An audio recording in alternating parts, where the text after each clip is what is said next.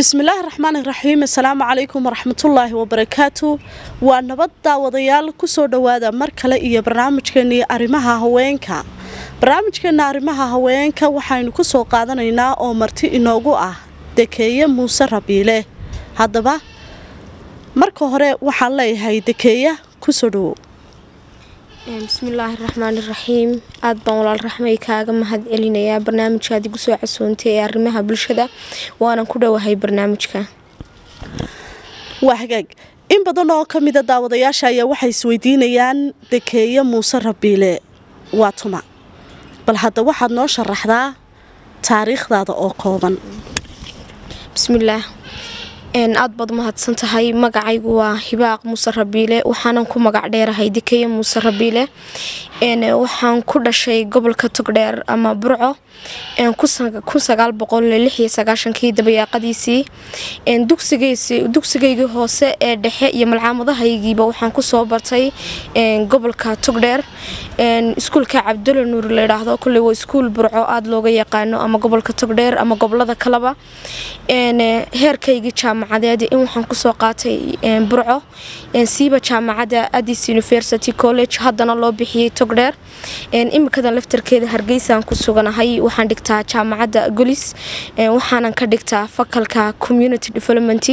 Meelo badan iyo shaqooyin badan waan ka soo shaqeeyey sida macalinimo waan ku shaqeeyey imikadan laftarkeedana waan ku shaqeeyaa. Hay'adda samafalka ama dadka baahan caawisana waan la soo shaqeeyey waqti kooban. Iminkadan laftarkeeda waxaan ka shaqeeyaa tv-ga star oo saxafiyad baan ahay. Aad baad u mahadsan tahay sida fiican eed noogu soo koobtay taariikhdaada. Haddaba dekeeya ama hibaaq qofba sida uu ku yaqaano waxa aynu kaga hadlaynaa qodobka koowaad ee barnaamijkeenan aynu kaga hadlayno ayaa noqonayaa aasaaska qoyska. Haddaba bal hadda marka koowaadba waxaad noo sharaxdaa iyada oo aynu qaybo badan u kala qaadayno aasaaska qoyska. Waxaynu nidhi qaybta koowaad waxa uu qoysku ka soo bilaabmaa marka ugu horeysa isbarasho. Bal hadda markaas isbarasho adigoo noo soo koobaya nooga sheekee waa tahay raxmay aad baad umahadsantahay walaal adiga iyo dhammaan ka howlgalayaasha tv-ga caalamiga somnews marka isbarasho la leeyahay aad bay runtii u dacala ballaadhan tahay. Runtii guur wuxuu ka bilaabmaa marka ugu horeysa barasho. Kadib haasaawaa ku xiga. Haasaawii markii laga gudbo ayaa loo gudbayaa in labadii qofi ku heshiiyaan inay guri iyo qoys yagleelaan amaba ay ku heshiin waayaan. Isbarashadaas ayaa u qaybsamaysa dhowr nooc. Runtii raxmay waxaynu inta badan ognahay in labada qofi ay isku bartaan meel ay ku kulmaan. Ama xaflad ama aroos ama meel goob waxbarasho ama goob kale. Nin walbaaba gabadhiisa uu calmaday ama sawjadiisa mustaqbalka wuxuu ku qiimeeyaana meesha uu ku bartay amaba goobta uu ku bartay. Sidoo kale haddaan tusaale u soo qaato goob muusig oo kale ama xaflad ka jirto ama yacni dee goob muusig oo la qaaqaawan yahay amaba dumarku inta badan aanay asturnayn. Haddii ninku uu ku barto gabadhiisa qiimaha ama sawirka uu ka haysanaya ayuunba ahaanaysa weligii in gabadhiisu markasta xitaa uga shakiyo in ay sidii oo kale ay u qaawanayd oo ragga ajaanibka ay u daawanayeen. Oo kale inuu u ahaato mar waliba. Sidoo kale hadduu ku barto goob waxbarasho ama goob yacni cilmi kororsi wuxuunbuu ka haysanayaa sawir ah in gabadhiisu ay tahay gabadh u u aragti fog inay waxbarato ama soo kororsato ama gabadh cilmi u diyaar tahay ay tahay caruurtiisana ay ka dhigi karto carruur maxay toolay aqoon leh. Sidoo kale hadduu ku barto meel maxaadiro oo dad badan iskugu yimaadeen oo culummo badan iskugu yimaadeen sawirku ku haysanaya ah inay tahay gabadh wanaagsan oo diinta jecel oo wanaaga jecel oo asturnaanta jecel. Ubadkiisana ka dhigi doonta ubad diinta ku dhaqma. Marka unba waxaynu leenahay ha la hagaajiyo. Marka ugu horeysa doorashada labada qof halkay isku baranayaan ayuunbaa noloshooda iyo mustaqbalkoodana saameyn weyn ku samaysa. Dekaya waad mahadsan tahay taasi waxay ahayd isbarashadii aynu markaa ka hadlanay inagoo qaybo badan u kala qaadnay aasaaska qoyska. Haatan waxaynu u soo gudbaynaa taasi isbarashadii bay ahayd. In badan oo ka mida daawadayaashuna waxaan filayaa inay fahmeen isbarashada iyo siyaabaha markaasi ay ku timaado iyo goobaha markaa la ysku baranayaa sida ay u kala duwan yihiin iyo qiimaha markaa hadhow la ysku qiimeeyo. Iminka waxaan u soo gudbaynaa dekeeyaay dhinaca haasaawaha bal hadda haasaawahan adigu noo sharaxaya horta haasaawe iyo raxmay markaynu barasho sheegayno wax farqi weyn uma sii dhaxeeyo waayo haasaawo kastaaba barashuu ku yimaadaa barasho kastana waxaa ka dambeeya waa haasaawe hase yeeshee mar weliba oo haasaawihii hagaagsanaado oo sidii ilaahay iyo rasuulkiisu sheegay loo haasaawo wuxuunbaa hagaagsanaanaya dhismihii hadhow aqalka ama isfahankii labada qof ee lamaanaha ah. Marka inankii inantii yacnii markuu la haasaaweeyey meel fiican oo babliga ugu yimaado. Markaan bablig leeya micnaheedu ma aha shaaric iyo inuu dariiq la istaago. Laakiin marka yacnii uu hudheel la wada fadhiyo halka sare oo kalea uu dhankiisaa soo fadhiisto sidii ixtiraam iyo dhaqankeenii hore ku jiray. Sidoo kale inuu inanta faamiligooda guryahooda ugu yimaado ilaaliyo xeerarkii diinteenu sheegtay oo ahayd inaan labada qof qolka soo wada cesheen markay haasaawayaan waayo rasuulkeenaa sheegay calayhi salaatu wasalaam oo yidhi labada qof shaydaan ayaa ku sadexa oo yaanay keliyeysan oo meel cidlo ah aanay istaagin. Mar waliba oo haasaawihii labada qofi ay ku muujiyaan ama ay ku dhisaan bays kale diinta ay ku dhisaan wuxuunbaa hagaagsanaanaya hadhow isfahankoodii iyo jacaylkoodii. Laakiin haddii marka hore haasaawuhu khaldanaa ama qalqalooc yaro madmadow ku jiray labadii qofi mid kastaaba shaki gaara ayuunbuu hadhow toolo qabayaayo markay hadhow gabadhii ninkii ka baxo wuxuunbays odhanaysaa sidii adigaba uu luuqluuqa kugu soo marayay ama haasaawihiinii khaldanaa ayuunbuu meelo kalena la gelayaa sidoo kale ninka laftarkiisana wuxuus odhanayaa walaahi waad ogeyd markii haasaawihiinu inuu de haasaawe iska jilicsanaa oo diinta ku salaysan aanu ahayn. Xaaskaaguna yacnii waa runtii meesha waxaa imanaysaa kala shaki fara badan.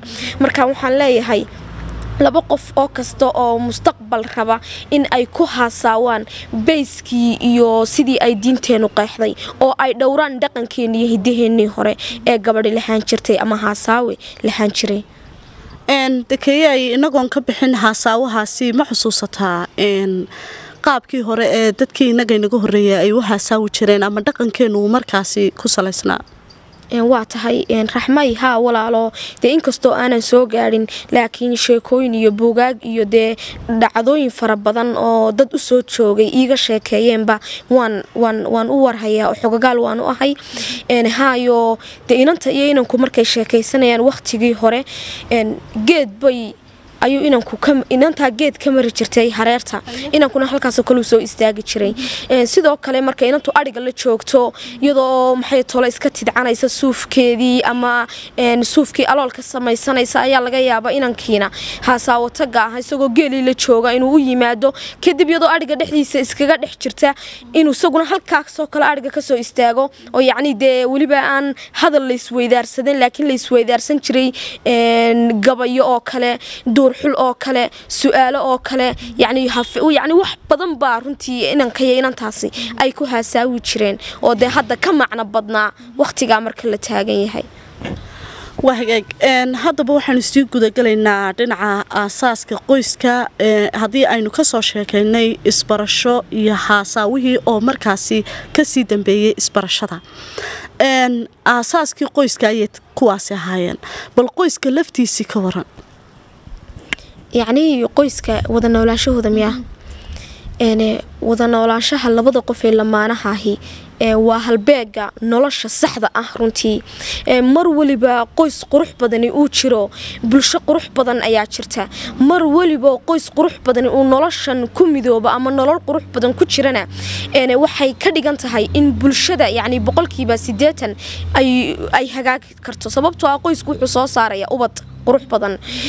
Marka wada noolaanshahu koley bila-aadankan ama dadku weliba soomaali hadaynu nahay ma fahansanin. Ninku wuxuu odhanayaa dee ubad unbaan rabaa. Gabadhina wuxuunbay odhanaysaa ubad unbaan rabaa. Laakiin macnihii qoyska ama dhadhankii qoysku lahaa uu ka dhintay bulshadeenna waxaad arkaysaa iminka nin xaas leh oo reer leh oo hadduu doono koob iyo tobanka habeenimo labiyo tobanka habeenimo suuqa jooga caweynaya hadduu doono asxaab kale qoslaya oo la kaftamaya. Laga yaababa gabadhiisi inay tahay gabadh yaroo aroos ahoobo aan weliba curan waayo mar waliba gabadha ubad haysato.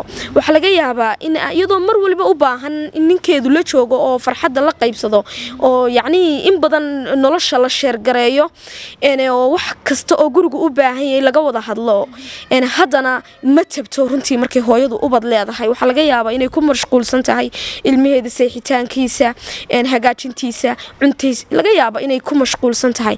Marka wuxuunbaan aad arkaysaa dee qof nin xilkiisa intuu gabay cid kale la qoslaya ama meel iska fadhiya ama shaaxay ama runtii taasina waxay tahay fahan la'aanta qoyska inaga haysta. Maxaa diiday intuu halkaa fadhiyo inuu u yimaado hawada u saaro hudheelada qaar ka mida magaalada geeyo? Waayo maanta dhan waxaa laga yaabay inay gajo ugu jirtay u shaqaynaysay cuntadiisii wuxuu jeclaa u samaynaysay nafteedii gubtay. Maxaa u diiday intuu la qoslayo qaar kale inuu yada la qoslo farxad siiyo habeenada qaar kadis ugu idhaahdo uu ku idhaahdo xabiibtii waxaan u baxaynaa dalxiis dhow oo dee magaalada gudaheeda ah hudheella u cashageeyo dee runtii waxaa la odhan karaa inay taasna tahay gaab aada u badan oo qoysaskeena soo waajahay.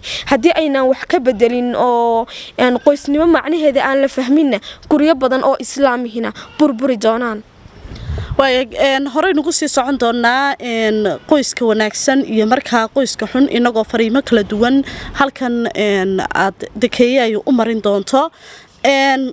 Waxaanu laakiinse ku wada nasanaynaa maase halkan aad inoogu hayso oo halkudhigeedu yahay deeqsi. Bal hadda maasadaa deeqsi koley waa wax fiican unbaan anigu ka dareemay.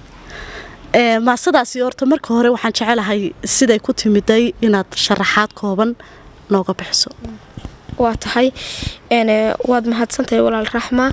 Maansadan waxaan sameeyey maalmo dhoweyd. Anigaana runtii ay iga socotaa waxaanan u tiriyey runtii qofka aan la wadaagi doono noloshayda mustaqbal. Sidii aan helay oo kale ayayna turjumaysaa. Yacni qofkii inaan helay oo yacni kii nolosha ila wadaagayay aan helay oo hantiyey.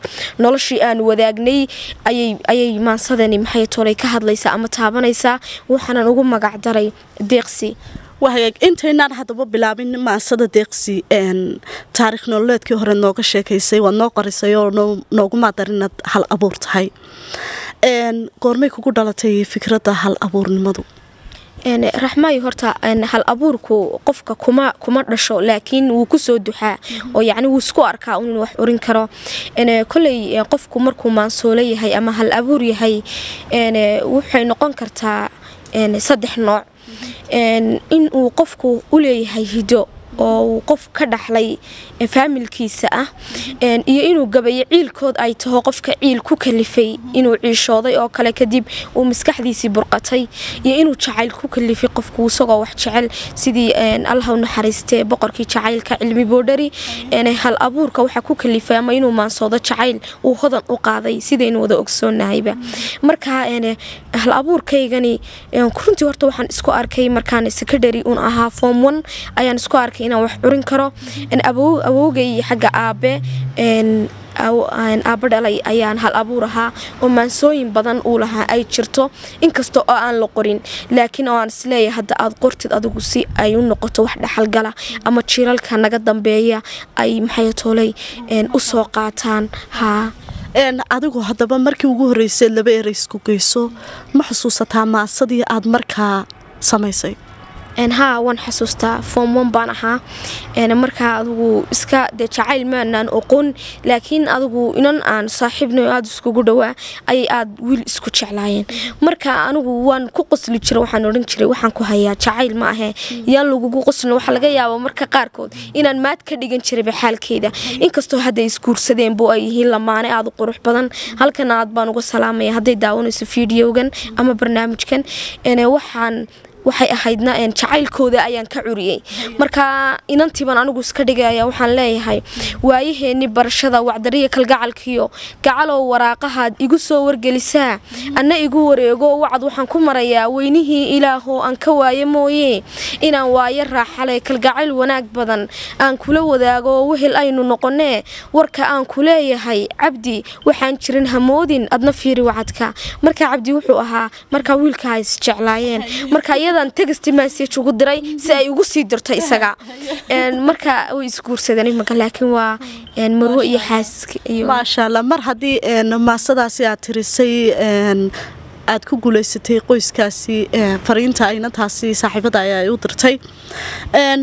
Aasaaska qoyskana dee maanta aynu barnaamijkeena kaga hadlaynay oo taasiba guul ay inoo tahay reerka aad ku guulaysatay iyadoo weli barnaamijkeena aynu dhexda kaga jirno arrimaha haweenka iyo tv-ga caalamiga ee somna news t v. Daawadayaal intiina nagu soo biirtay waxaanu kaga hadlaynay aasaaska qoyska barnaamijka arrimaha haweenka waxaana marti iigu ah dekeeye muuse rabiile haddaba horeynugu sii soconaynaa waxa aynu qeybtan ka eegaynay maasadii deeqsi oo aynu ka sheekaynay qaabkii ay ku timiday iyo sidii markaa aad ku hal abuurtay. Maasadu adigoo noo bilaabaya maxay ku bilaabatay? Waxay leedahay waxba duun ma sheegee dadnimiyo wanaag baad dadka kaga sarraysaa dabcigaaga oo quri duunyada dhammaanteed. Waxa dahab muquurshiyo dollar iyo masaalkii diinaarka lacageed. Waxa daara dhaadheer qotomee la daawado. Daymadaada oo quri dacalkaama gaadhee deeqsiyo waxaa tahay midkaan doonay aadmiga.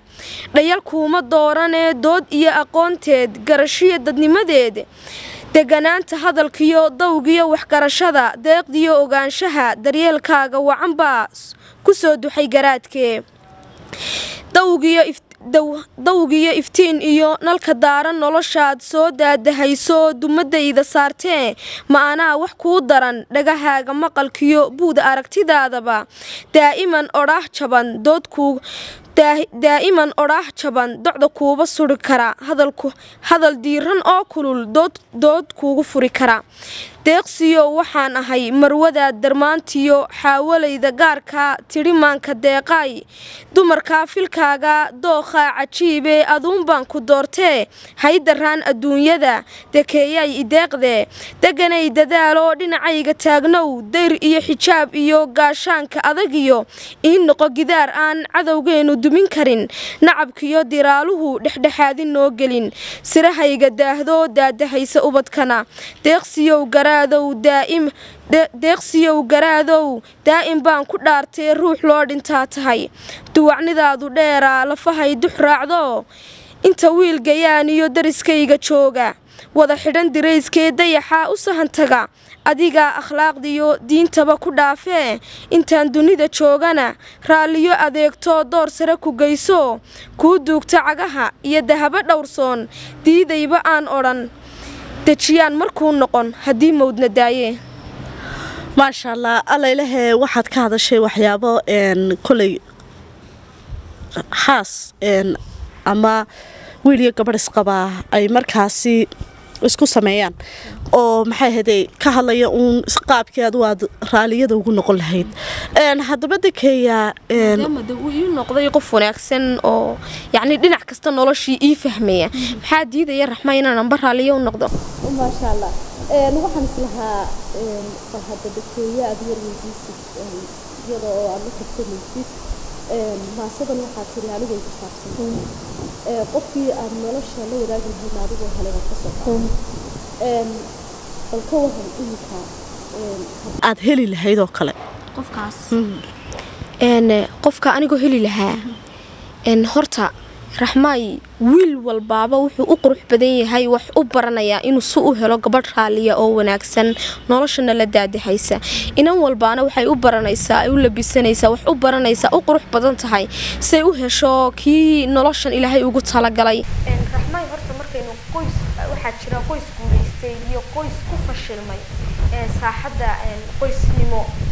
Markaynu leenahay qoys guulaystay horta wuxuu ka bilaabmay markii ugu horreysay haasaawo guulaystay kadib haasaawihii guulaystay wuxuu dhalay guur guulaystay markaa guurkii guulaystayna waa inuu dhalaa qoys guulaystay oo yacnii dhaqma oo farxa oo noloshii yacnii heer sare ka gaadha runtii waxaan leeyahay qoyska guulaystay wuxuu la macno yahay bulsho guulaystay markastoo qoys guulaysto oo uu ka badbaado fashalkii qoysnimo bulshada yacnii wuxuu soo saaraa madaxweyne wuxuu soo saaraa wasiir wuxuu soo saaraa hoggaan saxa oo dalkani u baahan yahay. Si kale maaha qoyska guulaystay waxa weeye inay labadii qof isla fahmaan noloshii qoysnimo iyo macaankii qoysnimadu lahayd. In ay wax badan ka tanaasulaan oo wax badan ay ka tagaan. Haddaan wax badan laga tanaasulin qoyskani ma dhismayo mana guuleysan doono. Sidoo kale waa in ay gabadhii mar waliba ninkeedii u noqotaa raalliyo. Markaan raalliyo leeyahay ma aha macnaheedu in ay yacnihii yani macnaheedu macno gaaban ma noqon karto. Laakiin waa inay waxay ku yidhaahdo ka hadh ay ka hadhaa wuxuu ku yidhaahdo samee sameeshaa waa inaanay noqon samcan wacasayna laakiin ay noqotaa samcan wadaacan. Sidoo kale marka maqalkii laga yimaado guud waxaa sameeya walaal waxaa iska daa sidoo kale ninka laftarkiisana waa looga baahanyay gabadhu maaha kale inay raalliyo noqoto. Ninkuna waa inuu raalli noqdaa waayo waxaa laga yaabaa gabadhiisu inay tahay gabadh aragti fog oo yacni halka wax ka arka mooyaane meel kale ka aragta. Soomaaliduna waxay tiraa caqliga adiga aan kugu jiraa waxa walaalka kaan adiga kugu jirin walaalkaabu ku jiraa marka waxa laga yaabaa fikrado kala duwan inay xaaskaagu ku jiro weliba ragga soomaaliyeed waxay iska waaweynaysiiyaan in ay la tashadaan ama ay tala u dhiibtaan xaaskooda oo dumarnimay u arkaan. Laakiin xilligii rasuulka runti calayhi salaatu wasalaam iyo cahdigiisii dumarka ayaa talooyinka laga qaadan jiro de rasuulkuba calayhi salaatu wasalaam tusaale uu inoo yahay inuu dumarkiisii iyo xaasaskiisii la tashan jiray markay wax ku soo waajahaan ama uu arrin rabo. Marka inuu waa inay markay ku tiraaho walaal waxaa iyo waxaa faraha ka qaad. Gurigeena ku dhaqmi maayo inuu ninkii aragti fog is idhaahda walay xaaskaagu meel fiican bay wax ka abaartee bal waxaan ay sheegayso la eeg oo bal u soo u soo maxay tolay liico bal arinkeeda meel la dhig. Sidoo kale gabadhiina marka ay ninkii ku yidhahdo halkaa ha u bixin ama halkaa ha aadin. Waa inaanay ku dhaga adkaan oo laakiin ay maqashaa.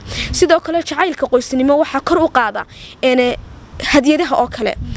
Xaasku waa inay ninkeeda wax u wax u keentaa kadis yacni maaha qasab inay wax weyn u keento. Shukulaataa ugu yar saacad baa ugu yar fargal baa ugu yar muraayadaha la xidhaa ugu yar inay hadyad u keento oo u qurux badan oo aanu ogeyn. Aad ku tiraa xabiibi anaa kuu soo hadyadeeyey hoo? Isku joog oo kale. Had iyo jeer wuxuu qalbiga ku hayo ee uu niyadda ku hayo. Laga yaabo inuu afka marmar ka sheego u yidhaahdo walaahi waxaas waxaasaan u baahan lahaa. Waxaas waxaasaan soo iibsanayaa. Wuu u sheegaba. Marka intaanu soo iibsan haddii aad heli karto ama dhaqaale aad u helayso kadis ugu keen ninkaagii oo kaga farxi. Waxaa laga yaabaa jacaylkiini inuu karo. Ninkuna sidoo kale markuu habeenkii gurigiisa ku soo socdo waa inuu wax gacanta ku soo qaadaa waxaad arkaysaa nin fadhamaranoo gurigiisa iskaga soo socda raxmaay. Ceeb weeye runtii.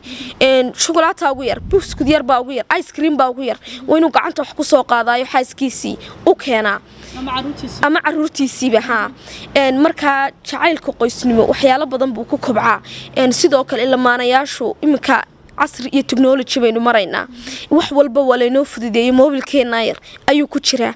Lamaano kasta oo qoys lihi googalka youtube-ka ha ka daawadaan maxaadarooyinka barnaamijyada qoysaska jacaylka intaba ha ka daawadaan waayo wuxuu kaabayaa korniinka qoyskoodii ama farxadda qoyskoodii. Ayuu kor u qaada maxmay dabeecado kala duwan bay leeyihiin. Waa wax meel la iskugu soo xareeyey. Arday kastana wuxuu leeyahay yacni dabeecad u gooniya ama caqabada waqtigaa ka haysata gurigooda. Waxaa suurtagal ah inuu noo yimaado arday hooyadii aabihiiba kala tageen oo caqabadi haysato waxaa suurtagal ah inuu arday ka soo jeedo qoys maalqabeenihi galaaskii ku jiro ardaydanba yacni aan waxba u arkayn wuxuu doono ku samaynaya. Waxaa suurtagal ah inuu ku jiro arday hooyadii aabihiiba ay dhinteen oo rajaya agoona oo cid kale dulsaar ku ah ama nolol fiicanba aan ku jirin. Marka waxaa loo baahan yahay macalinku inuu yeesho dareen ka xogogaalsan dadka kale mantigaa kula nool. Inuu ardaygan uu wax u dhigayo mid kasta dabeecadiisa uu war u hayo ayaa loo baahan yahay waxaa suurtagala arday fara badan oo damiiniini inay jiraan. Laakiin macalinku uu usha un la dulmaro. Isagoo u haysta inuu maxay toolay leysnimadiisa iyo damiinnimo ay ka tahay. Laakiin aanay ka ahayn caqabadaa guriga haysataa ay ka mid tahay. Waayo ardaygii marka hooyadii aabihii kala tageen caqabad baa haysataa oo aanu laba joogin. Hadduu doono uu aabihii la joogo ama hooyadii la joogo jacaylkii waalidnimaa ka maqan. Waa indhadoogsi runtii waa nimco laakiin dadku ma dareensana waa qayb nimco ka mid ah. Markuu ilmihii yaraa ku dhex nool yahay ama la jooga labadiisii waalid oo gurigii ay ku dhex arkayo hooyadii aabihiiyo kaftamaya hooyadii aabihiiyo sheekaysanaya hooyadii aabihiiyo gurigii ku wada nooloo ismagacaabaya yacni waa nimco ilmaha yar u ah korniin qalbiga siisa yacni dhiiranaan fara badan siisa. Markaa arday fara badan baa noogu timaada iskuulka oo nooc kastaba leh oo aan mid kastaba dabeecadiisa gaarka kula dhaqanno. Una baahan tahay in aad xogogaal hoose u ahaato ardaygii aad la saaxiibto hoos u ogaato caqabada haysata dhibka haysta farxadda haysta aad intaba la qaybsato oo aanay ahayn inaad ardaygii ul la dulmarto ama aad ul qaadato maadaama anaguba aanu arday soo marnay oo aanu kala jeclayn macalinkana dila iyo macalinka wax noo sheegana jecel aanu xoog u kala jeclayn. Fariinta guud ee markaad u dirayso qoysaska kala duwan gabagabada barnaamijkeena maxay tahay raxmay waxaan u dirayaa walaal qoysaska islaamka. Horta qoys kastoo islaam oo dhisan allaha barakeeyo. Allana guurkooda ha ka dhigo guur guulaysta. Ilaahina ubad wanaagsan oo diinta iyo dalkaba wax u taro anfaca alla dhexdooda ha ka beero ha dhigo. Qoys kastoo islaama waxaan kula talinayaa run ha lagu dhaqo horta qoysaska. Waa marka koobaad waa marka labaade ragga ilaahaybaa xilka idinka ilaahaybaa idii dhiibay. Oo ilaahaybaa qur'aankiisa ku leh arrijaalu qawaamuuna cala annisaa bimaa fadala allahu calayh yacnii xil ilaahay idii dhiibay weeyaan xilkiina ka soo baxa oo xil yar ma aha oo xilkiina guta dumarkana idinka ayay idin yihiin yacni raaciyaad ama qaar masaakiin oo hoostiina ku nool xaqooda ilaaliya oo ha ku tumanina mar waliba ninka uu ka soo baxo gurigiisa ama uu noqdo nin guurkiisa iyo gurigiisa ka adag markaasunbaa lagu aamini karaa ninka. In xilal kale ama waxyaalo kale ama shaqooyinkiisa kale uu ka soo baxo laakiin nin ku fashilmay guurkiisii ama ama gurigiisii inaanu meelo kale waxba ka qaban karin.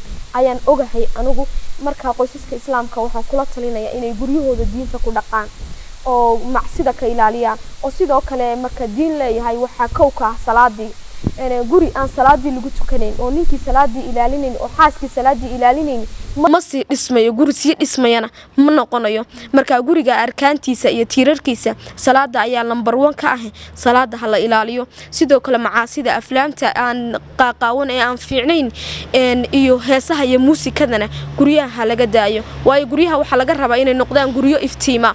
Waxaa laga rabaa inay ka soo baxaan ubadkii beritoole dalkan hogaamin lahaa.